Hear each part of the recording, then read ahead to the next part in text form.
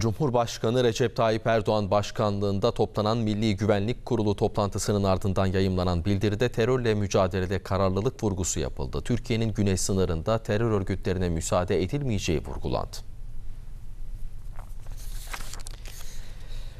Cumhurbaşkanı Erdoğan başkanlığında yapılan Milli Güvenlik Kurulu toplantısı 3 saat 10 dakika sürdü. Toplantı sonrasında yayımlanan bildiride PKK-YPG, FETÖ ve DAEŞ terör örgütlerine karşı yürütülen operasyonlarda kararlılık vurgusu yapıldı.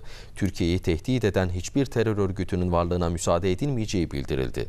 Terör örgütlerinin varlığına ve etkinliğine karşı gereken her adımın kararlılıkla atılacağı vurgulandı.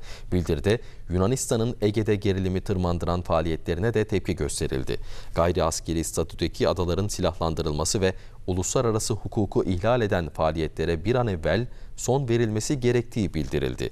Bildiride ayrıca Kuzey Kıbrıs Türk Cumhuriyeti'nin Türk Devletleri Teşkilatı'na gözlemci statüsü rolünden duyulan memnuniyet dile getirildi. Daha fazla video izlemek için kanalımıza abone olabilir, ilk izleyen olmak isterseniz bildirimleri açabilirsiniz.